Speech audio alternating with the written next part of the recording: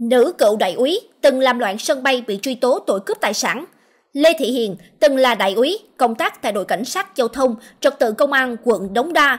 Ngày 11 tháng 8 năm 2019, Hiền tới cảng hàng không Tân Sơn Nhất để bay về Hà Nội.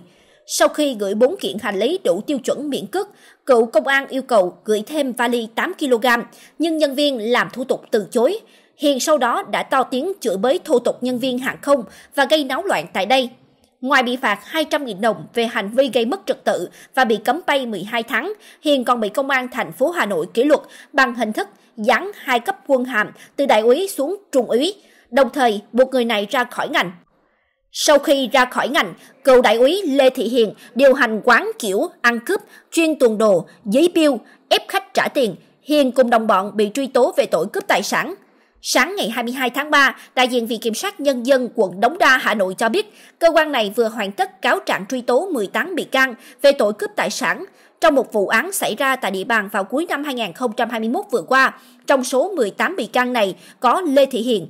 Theo cáo trạng, năm 2019, Hiền, Vũ Anh Hoàng 31 tuổi quê Quảng Ninh và Nguyễn Đức Thăng 30 tuổi trú Hà Nội góp mỗi người hơn 2 tỷ để thành lập bar Magic Lounge đóng tại 106 Tôn Đức Thắng, phường Quốc Tử Giám, quận Đống Đa. Quán này kinh doanh đồ ăn, uống, bóng cười, vân vân. Trong đó, Hoàng có trách nhiệm học tập quy mô, cách thức hoạt động của các quán khác để áp dụng cho quán mình. Thăng phụ trách chạy quảng cáo để tìm khách, còn Hiền quản lý hậu cần, thu chi, đối thoại. Tháng 3 năm 2020, nhóm của Hiền thuê Nguyễn Thị Minh Trang, 29 tuổi, trú quận Hà Đông, Hà Nội, lên chương trình hoạt động cho quán Magic. Hiền, Hoàng và Thăng đặt mục tiêu cho Trang để quán phải đạt được doanh thu hàng tỷ đồng. Nếu đạt chỉ tiêu, Trang sẽ được hưởng từ 6 đến 10% doanh thu. Ngược lại, Trang phải làm cho đến khi đạt chỉ tiêu doanh thu mới được hưởng công. Sau khi ký hợp đồng, Trang tuyển nhân sự, phân công nhiệm vụ cho từng nhân viên. Cụ thể, Trang yêu cầu nhân viên nữ dùng các ứng dụng hẹn hò qua xã hội như Tinder, Facebook, Bedu, vân vân để làm quen với các bạn nam, sau đó gã đến quán để sử dụng dịch vụ. Khi khách đến, đồ ăn uống đã được bày biện sẵn, các nữ nhân viên ngồi tiếp một lúc rồi tìm cách trốn ra để bạn trai ngồi một mình, cho đến khi chán, tự đứng lên thanh toán để trao về.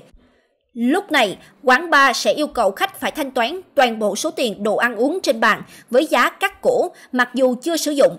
Một chiêu trò khác, Trang chỉ đạo nhân viên tìm cách đẩy thêm hoa quả, rượu, bia, bóng cười vân vân vào bàn cho khách và nâng giá đồ để cố gắng đạt doanh thu sớm nhất. Nếu khách không chịu trả tiền, Trang huy động đội bảo an gồm một nhóm thanh niên ra nói chuyện, đe dọa ép khách phải trả tiền hoặc để lại đồ có giá trị, nếu không sẽ bị ăn đánh ngay lập tức. Viện Kiểm sát Nhân dân quận Đống Đa xác định hàng tháng, cậu đại úy Hiền còn chi 31 triệu đồng từ doanh thu của quán để đi đối ngoại nhằm được lực lượng chức năng làm ngơ các vi phạm của cơ sở này.